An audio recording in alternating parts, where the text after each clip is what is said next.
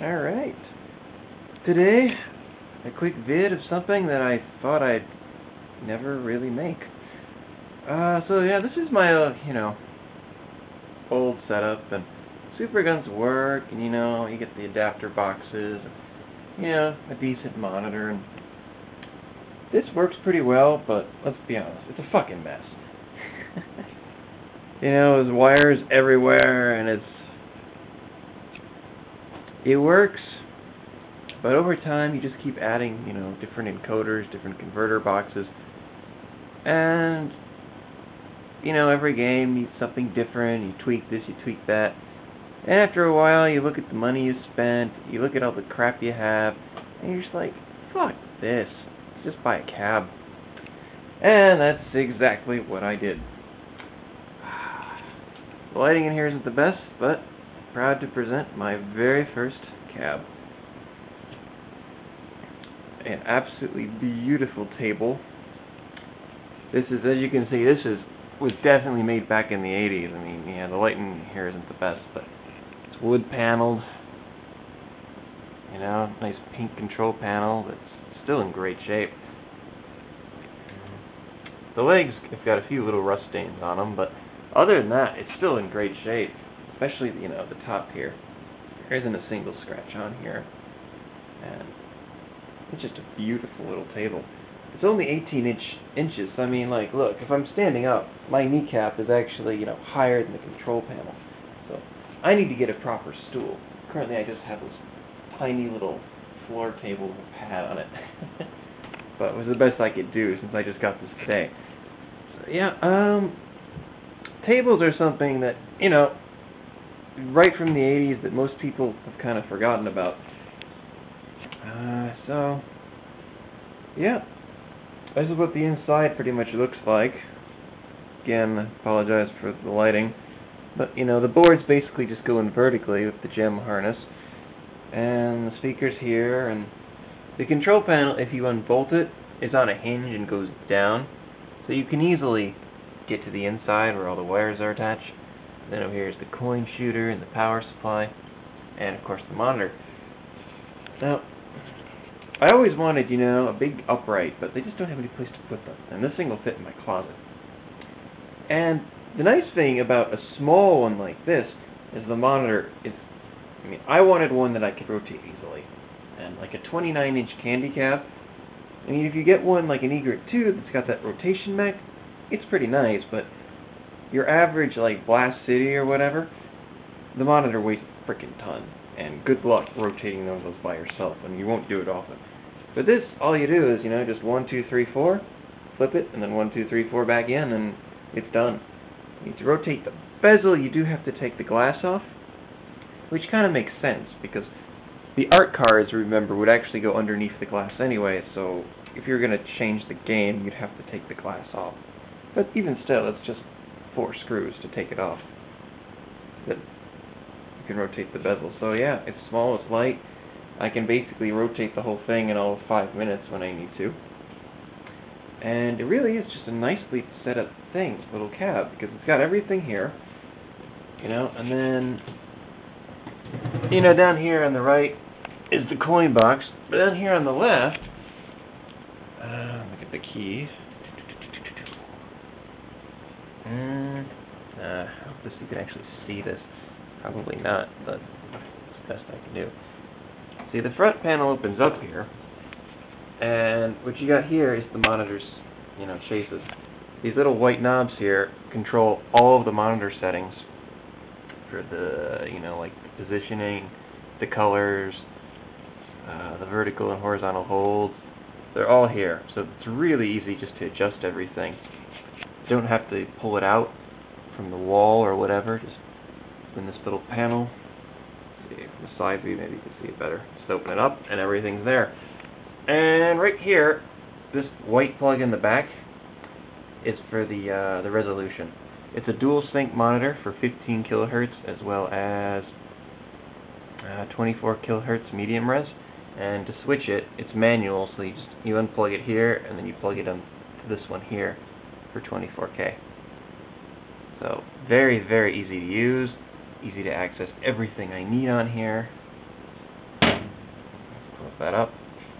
And what really sold me on this one is the monitor. It is spectacular.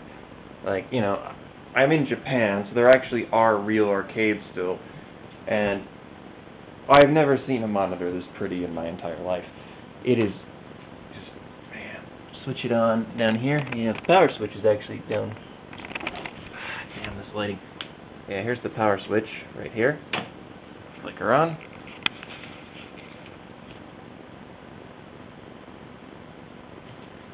But there really is nothing like the real deal, and I mean most cabs that I do have out locally are Trisyncs, and while Trisync is nice, Trisyncs just don't have the best low res. A true low res monitor like this, it's it's just fantastic looking. You know, there's no burn, the colors just pop out. It just looks stunning. Like, way, way better than anything I've ever managed to get going on a super gun. Just fuck super guns, man. Get a cab.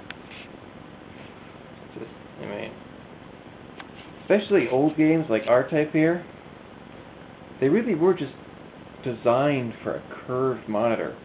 Like everything else I have is flat screen, which is nice, but just playing it on here is like,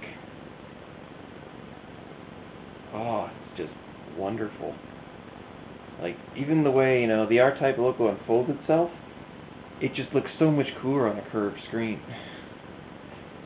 If you can tell, they just designed it for this kind of setup. So I just could not be happier. As you can probably imagine, since it is pretty small, uh, doing two players on, you know, like on a control panel this size is a little cramped, but I'm honestly rarely going to do that. My main reason for even getting the two-player setup is on the rare occasions that I have two play a, a second player, but also because there are a lot of games that actually, like R-Type here, to get to navigate the test mode, you actually have to hit like player one button one and player two button one at the same time. So if you don't have the two-player control panel, you can't do that.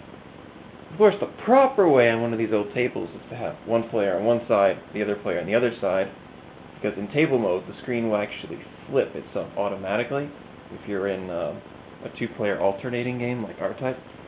But then it gets wider, and this is just what I need for now.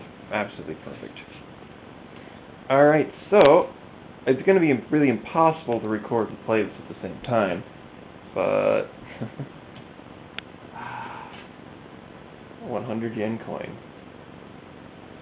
Of course, I do have a service button, you know, right down there, which lets me just jack in as many credits as I want to by hitting the button. But proper way to do it, the coin. Hell yeah. So, let's see if we can play R-Type one-handed. This is not going to work. but, yeah, after just realizing just how wonderful the true, you know, 50k monitor really is, I could never ever go back. Seriously. I don't know what I'm, you know, I still like my super gun, but you know, fuck J-Rocks, fuck encoders, fuck everything. Real monitor or, or nothing. ah. You can see I'm literally playing this with just my palm and ah. I don't even know how I actually managed to do this. Go for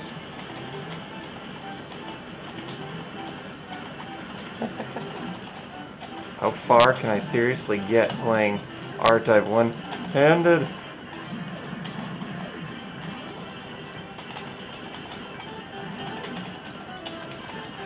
That was close. ah.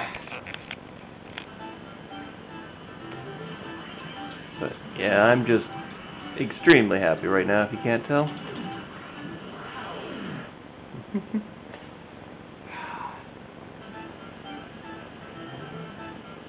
so yeah.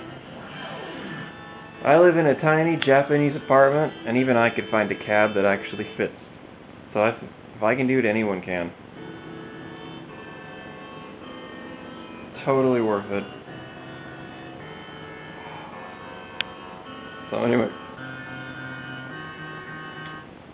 well, I think the cab just speaks for itself.